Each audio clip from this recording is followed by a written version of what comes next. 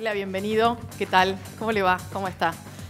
Víctor Bronce, buenas, buenas noches, ¿cómo le va? Buenas ¿Cómo está noches, usted? Bueno, eh, Víctor es director del Centro de Estudios de Energía, Política y Sociedad, y vamos a hablar de energía, y vamos a hablar de algunas cuestiones que vienen ya este, formando parte de nuestra actualidad, pero también algunas muy actuales, muy de esta jornada. Le quiero preguntar en primer lugar por esta definición que se termina tomando respecto de oil, que va a ser eh, manejada por IPF a partir de la decisión tomada por la justicia. Eh, ¿cómo, lo ve?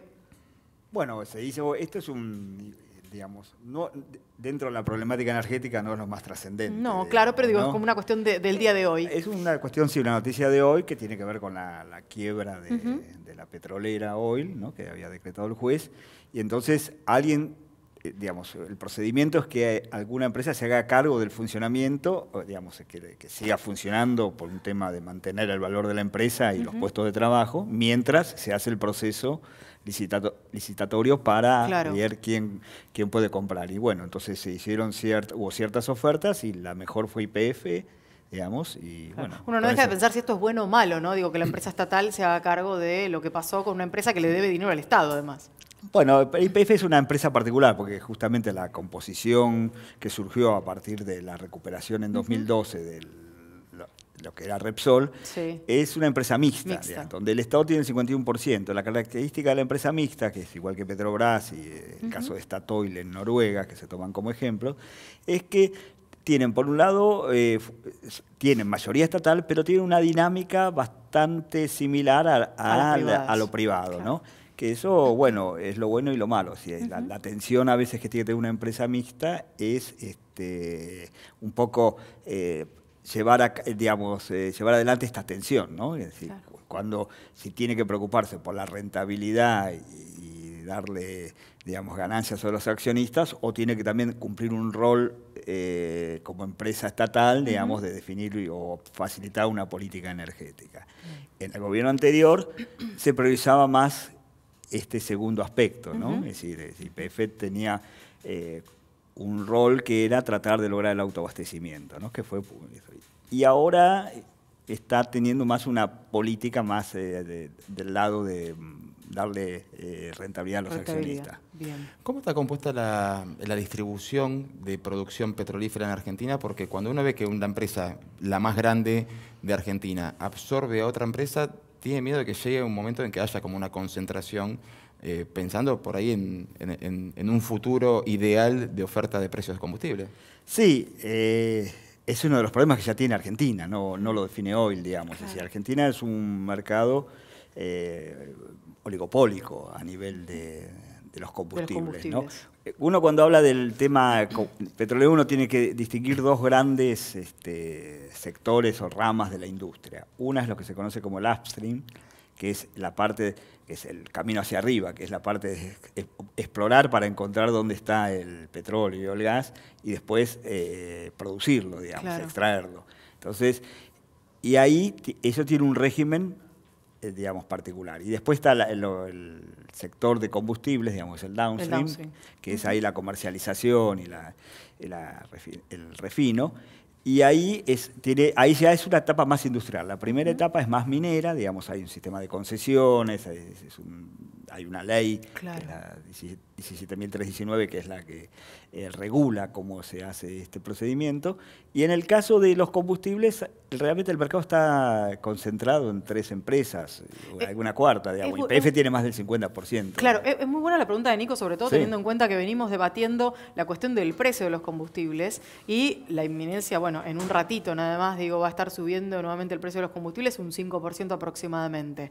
Eh, ¿Cómo se sostiene esto eh, a lo largo del tiempo? Porque después eh, todo esto termina derivando en el valor de los productos alimenticios básicos y de todo lo que, lo que implica el transporte, ¿no? No, no, claro, es- es- está, está bien planteado, porque atrás de cualquier producto que uno consuma hay petróleo, Ajá. digamos, ¿no? Es y- incluso en los alimentos, porque uno de los insumos más importantes en la producción alimenticia es el gasoil para todas las máquinas, eh, digamos, eh, sem- tractores, sembradoras, Cosechadoras, cosechadoras. claro, sí, sí, entonces es un insumo importante, ¿no?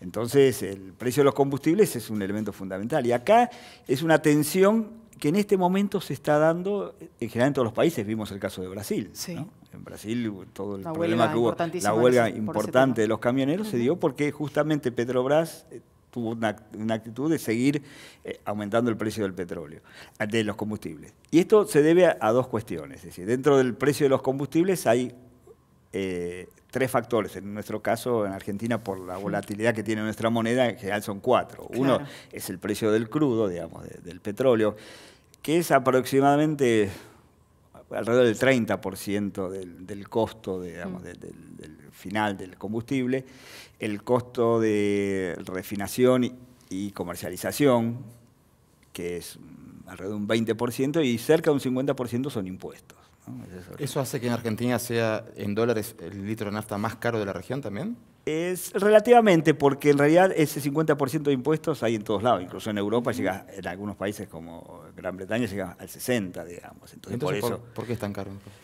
No es, eh, digamos, bueno, justamente lo que planteabas vos antes, es, un mercado poco competitivo, Claro, digamos, entonces claro. se ponen de acuerdo, entonces cuando, por eso fue un poco discutida, al menos por al- algunos especialistas, cuando el ministro decidió el año pasado liberar el precio de los combustibles, porque no, no, eh, digamos, uno lo puede liberar cuando uno tiene un mercado este, que no es oligopólico, ¿no? Es decir, Justamente, si- incluso si vamos a la historia, porque la característica del petróleo hace que tiende a concentrarse los mercados, ¿no?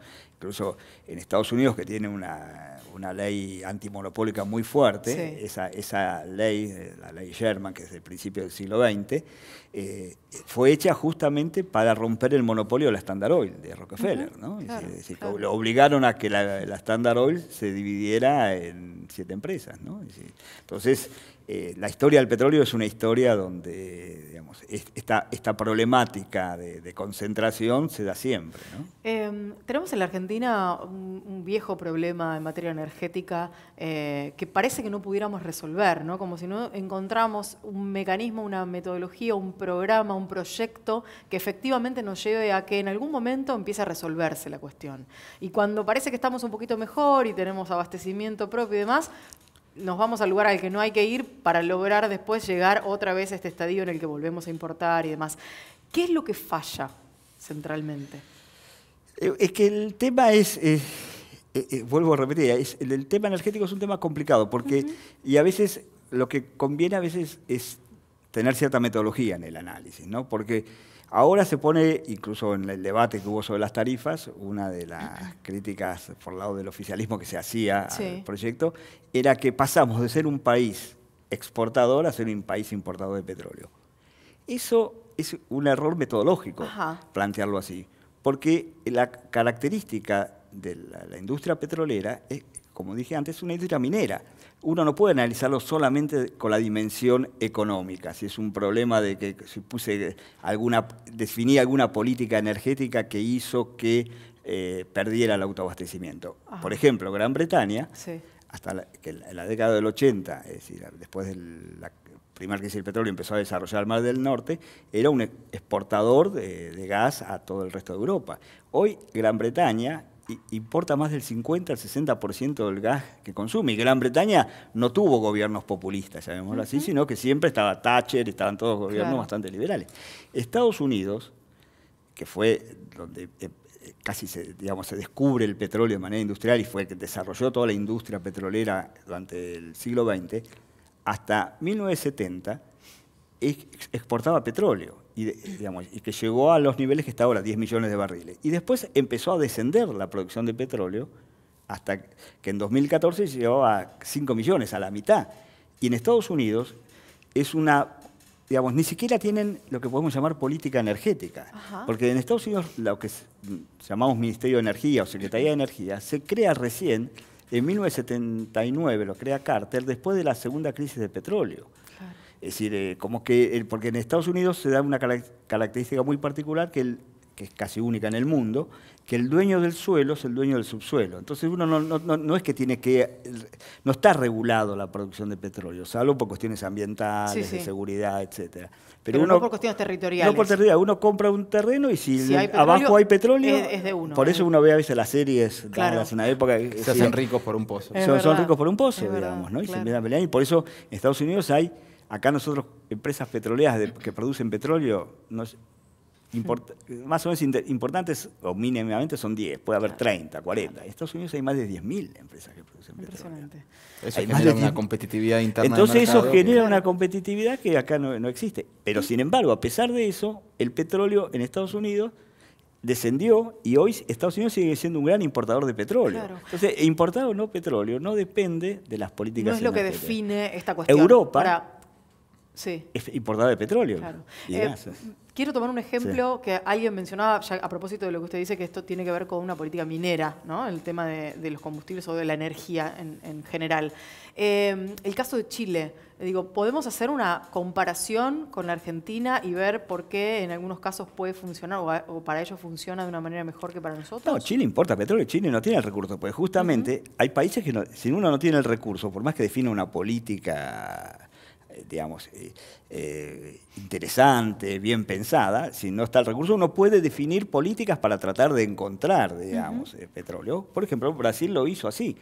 Brasil, cuando, una cosa, una cuestión interesante, que es distinta al, caso de IPF y otras empresas petroleras estatales en América Latina, fue que eh, Argentina cuando se crea IPF, Mosconi crea IPF en 1922, fue para defender el recurso, digamos. Es decir, Argentina encuentra petróleo y necesita defenderlo de las empresas. En ese momento había toda una, eh, estamos hablando de alrededor de 1920, lo que se llama una diplomacia petrolera, digamos. Los países Europa, que no tenía petróleo, salía al mundo a buscar eh, dónde estuviera reserva. Entonces había que controlar.